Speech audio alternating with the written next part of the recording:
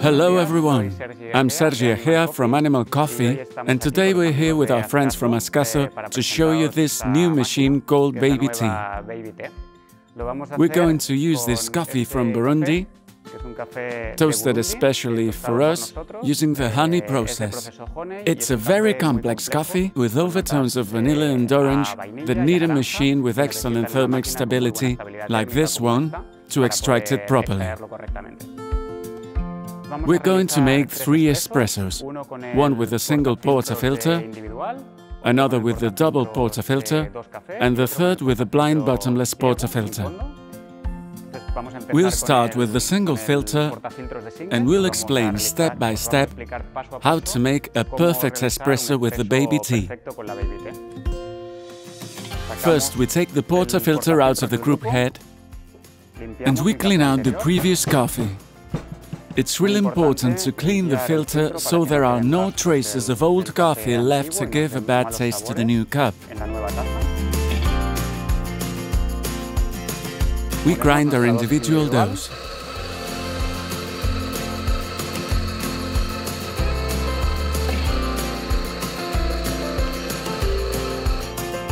Here we're using 10.3 grams. We put the tamp in straight press, turn, lift, and wipe out the grounds left in the filter. Next, we clean the group head to get all the grounds from the previous coffee out. And then we place the portafilter in the group head, adjust it, put the cup in, set up the scales, and at the moment we're going to work in manual mode, so we'll stop it manually. We can also program the machine to stop itself.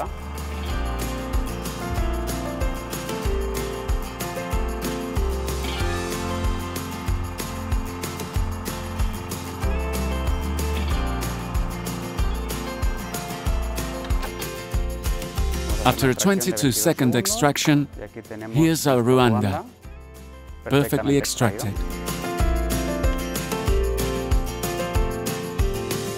Now let's make two espressos at the same time with a two-spout portafilter.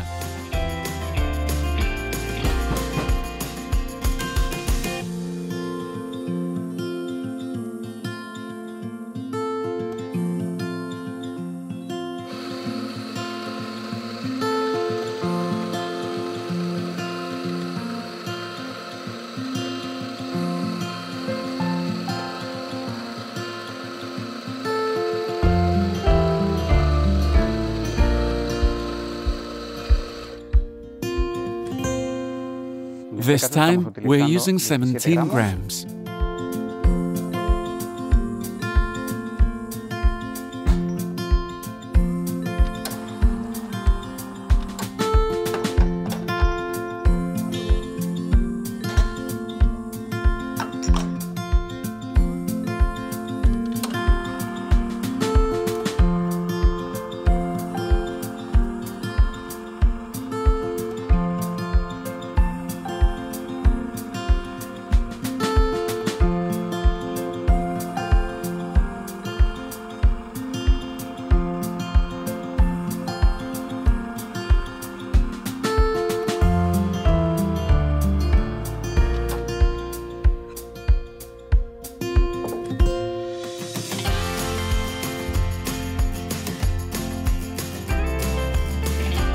Here we have the puck after pulling the shot, with no tunnels and really regular.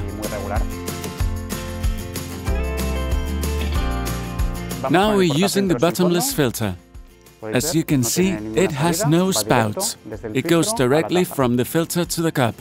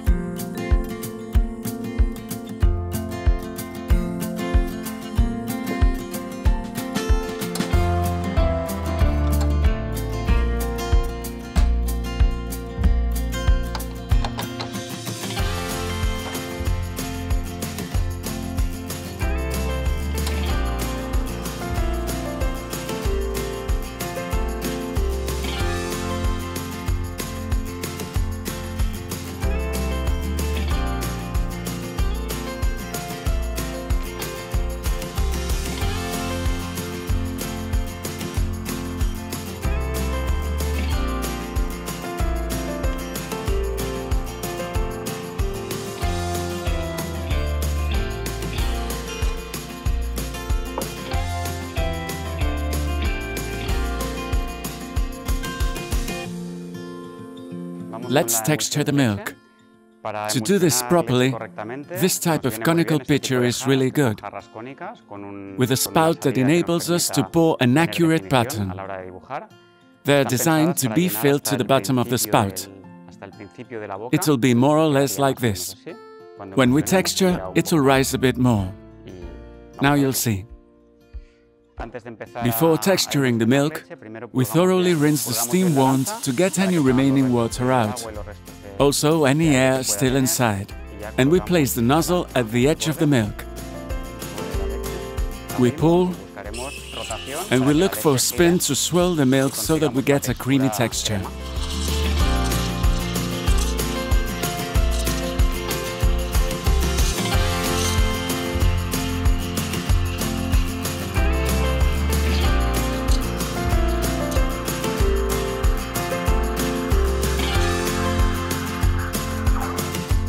Perfect. We wipe it. We rinse the steam wand again. We swirl the milk well so that the top and the bottom blend properly in case there's a more liquid part. We pour a bit off from the top and now we pour from above. Pour, pour, and when we want to draw the pattern, we go down.